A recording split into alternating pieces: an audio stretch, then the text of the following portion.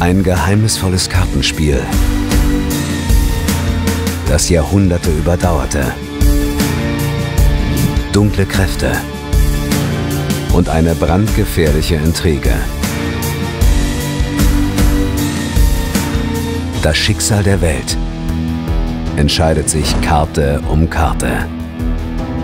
Der neue Mystery-Roman des Großmeisters der deutschen Fantastik, Markus Heitz.